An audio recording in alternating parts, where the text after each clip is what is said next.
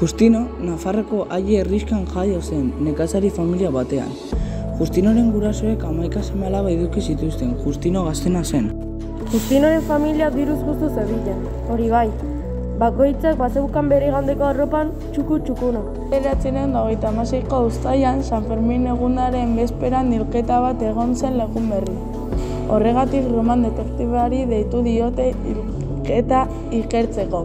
Justinok hilketaren giltza izan dezake.